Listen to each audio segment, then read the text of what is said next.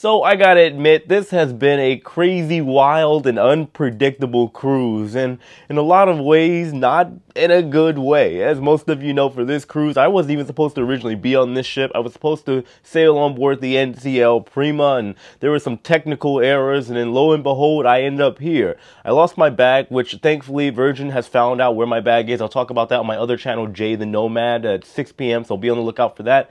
And we also had a situation where apparently, I guess the floor caved in at the nightclub. There's some construction going on over there. And last night, we had to rescue a group of refugees. Now, I'm going to show you guys the clips that are available. I gathered some because I could see everything that was going on right from my balcony behind me. And, uh, well, it was definitely kind of nerve wracking and intense to actually see something like that unfold live. So I'll show you the clips and I'll go over the details after.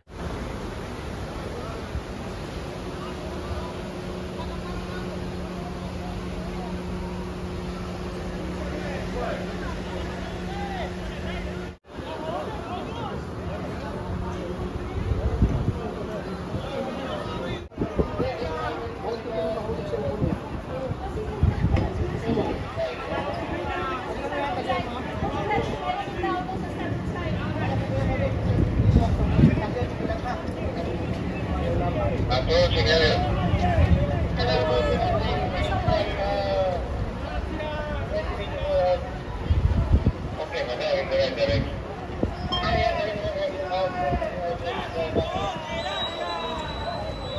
So around 6 p.m. last night local time, my ship, the Scarlet Lady with Virgin Voyages, started to turn around and everybody was wondering what was going on. About 30 minutes later, we heard an announcement from the captain stating that they saw a ship that was in distress that may have refugees on it. So they shined the light on the ship. Lo and behold, there was at least a dozen people on a little boat, a raft, and well, there is maritime law in which there is a ship in distress. If there is such a case, the vessel that is able to offer aid and save those people in the ship in distress, well, they have to. It's the law. Now, whenever we got toward the ship, the boat rather, uh, it was it was kind of hectic. Everybody was trying to get a good view and see what was going on, myself included.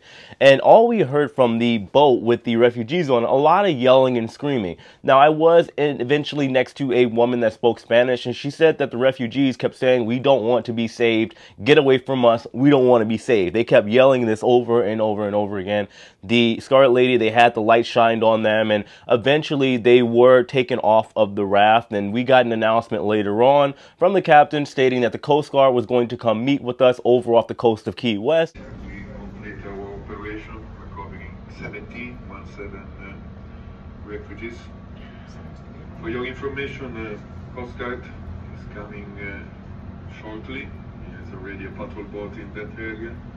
So we will not go nearby Key West as was the original plan. Deck We complete our uh, transfer here and then we resume our voyage. Now, I do have to say, when situations like this uh, happen, it's very, very tragic. It's very sad, and it does give a real perspective that the world, unfortunately, is not fair, and it makes people like me and, of course, everybody else on this ship realize how fortunate we are. Those people are trying to escape Cuba because they want to go to the United States, I'm assuming, for a better life. Meanwhile, on their way to the United States or wherever it was that they were going, they intersect with a cruise ship. The cruise ship makes them get on board to be saved and rescued, and then after that, Coast Guard takes them, and unfortunately, they will not make it to the United States. They will be deported and taken back over to Cuba, and from that point, who knows what could happen? I mean, there's a lot of rumors circulating on what happens when refugees flee and get taken back over to those areas. There's talks of jail time and everything else under the sun. Now, it is, like I said, very, very unfortunate, and a lot of people for the rest of the night were kind of bummed out, and for last night, it was the biggest night here, Scarlet Night, where they had the giant pool party and everything. And they were just people that obviously weren't in good spirits after seeing something like that take place. A lot of the guests here are naturally thinking, here we are drinking our Jack and Cokes and having food and wine and all kinds of expensive cheeses. Meanwhile, you have people that are downstairs that don't have this kind of life, never probably will have this kind of life, and all they want is a shot to be able to hopefully make their lives better and be able to build something for themselves.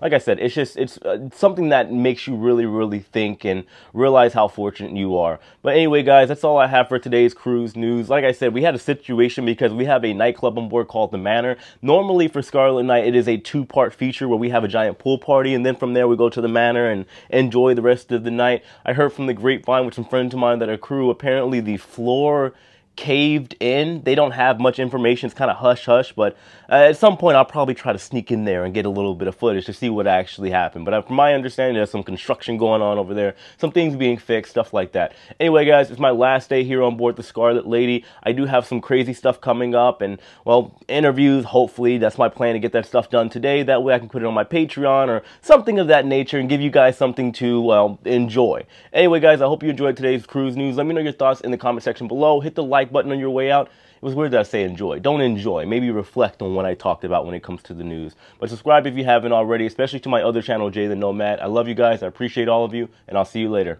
Take it easy.